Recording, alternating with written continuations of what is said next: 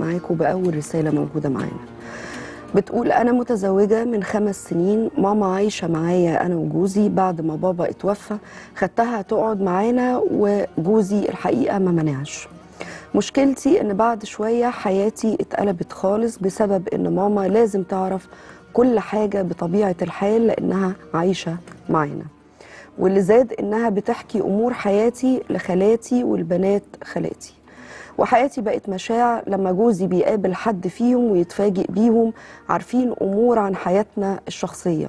بيعمل معايا مشاكل وده خلاه بدأ يتضايق منها. ده غير إنها بدأت تتعامل إن إحنا اللي عايشين في بيتها وبتتحكم في كل حاجة حتى مدرسة ابني متدخلة في اختياراتنا ومصرة على مدرسة فيها ولا- ولاد بنت خالتي. وكتير ببقى بيبقى التدخل بعصبية ونرفزة وأنا أفضل أقول لازم أستحمل حتى شغلي مش عارفة أشتغل. من كتر المسؤوليات عليا واصلا هي مش عاوزاني أنزل أشتغل وعاوزاني أفضل قاعدة معاها. أنا مش عارفة أعمل إيه وهل لازم أستحمل؟ وما ينفعش أتكلم ولا أعترض ولا هيبقى عقوق ليها. ارجوكم ساعدوني.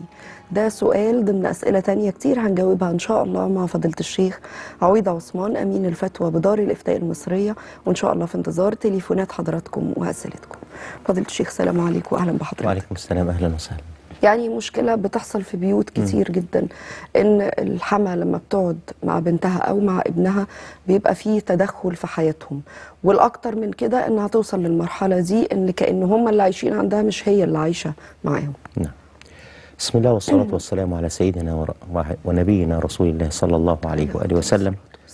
قال من حسن إسلام المرء تركه ما لا يعنيه جميل أوي إن الإنسان يطبق المبدأ ده في كل حياته. وأنا قاعد عند ناس ما أسألش عن الحاجة اللي هي ما تخصنيش. أخليني في الأمور اللي تخصني أنا بس. ما احاولش أتدخل في خصوصيات اللي قدامي حتى لو كان ابني إلا أن أكون ناصحا.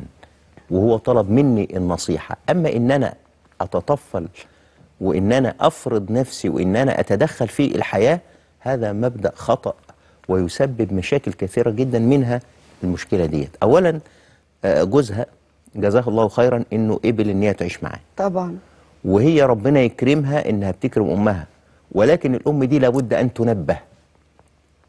ما نسيبهاش بهذه الطريقة. تنبه وإلا في الآخر البنت هتنفجر ومش هتقدر تتحمل في الآخر وهتقول لها يعني إما البنت تقول لها يلا روح هناك هت- هتحصل مشكلة أكبر. فمن الآن؟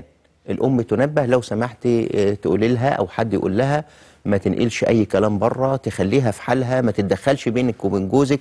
اختيارات حياتكم ما ينفعش حد يتدخل فيها.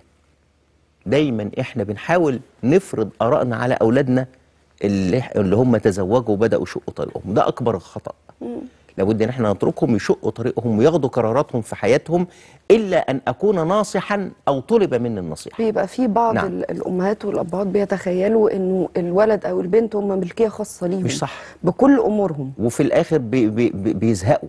الولاد بتزهق. وفي الآخر يعني وجود الأب والأم بيبقى عبء. ويبقى سبب من أسباب المشاكل زي ما حصل. فلذلك لا نبهي والدتك وما تسكتيش. نبهيها بأسلوب جميل وأسلوب لطيف برضه ما بنقولش تجرحيها ولكن لابد إن تعرف إن هي خطأ.